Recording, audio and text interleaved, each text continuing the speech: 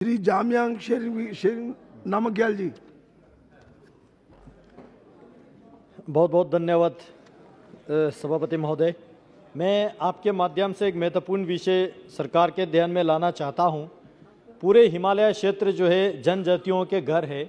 बहुत सारे जनजातियाँ अपने देश में रहते हैं। उनमें से एक बहुत महत्वपूर्ण जनजातियाँ जो है, दार्द आर्या कम्युनिटी है, जो कि पाकिस्तान ऑक्यूपाइड कश्मीर में अभी है जो गिलगित वहाँ से अ, सदियों से पहले वहाँ से आके पूरे लद्दाख में और कश्मीर की अलग अलग जगहों पे बसे हुए हैं।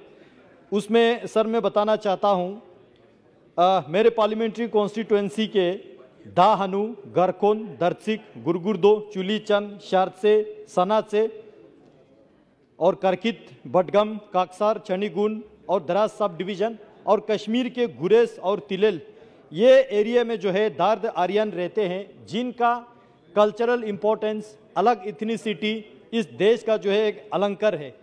और नेशनल इंटरेस्ट को देखते हुए और नेशनल इंटीग्रेशन को देखते हुए इस बात पे तवज्जो दिया जाए, जो 1999 का जो करगिल वार हुआ था, वो इसी क्षेत्र में लड़ा गया।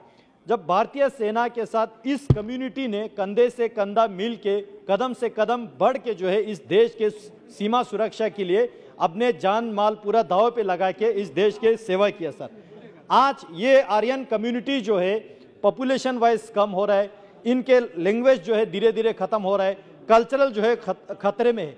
मेरे आपके माध्यम से यहाँ कल्चर के ऑनरेबल मिनिस्टर साहब भी बैठे हैं, मैं आपके माध्यम से लाना चाहता हूँ इनके कल्चरल को आगे बढ़ाने के लिए और साथ ही साथ इनके लैंग्वेज में जो है, जो दार्दी आर्यन लैंग्वेज जिसको हिस्टोरियन कहते हैं, इस दार्दी आर्यन लैंग्वेज को अलग से अलग अलग प्रोग्राम चलाया जाए और साथ ही साथ जो ऑल इंडिया रेडियो और दूरदर्शन केंद्र जो ले और कारगिल में है और कश्मीर में है, इस रेडियो स्टेशन और दूरदर्शन के माध्यम से इनके लैंग्वेज में भी अलग अलग प्रोग्राम चलाया जाए ताकि इस दर्द आर्या के जो कल्चर इनके जो डिस्टिंक्टिव और आइडेंटिटी जो है, बरकरार रहे। मैं आपके माध्यम से ऑनरेबल मंत्री जी के ध्यान में लाना चाहता हूँ। बहुत बहुत धन्यवाद जी।